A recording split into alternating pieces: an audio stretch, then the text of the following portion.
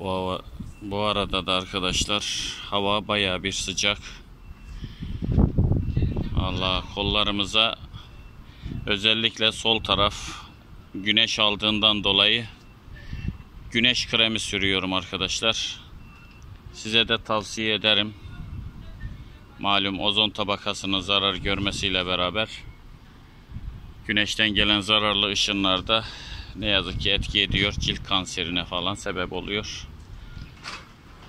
Kafamıza da şapkamızı taktık. Güneş geçmesin diye.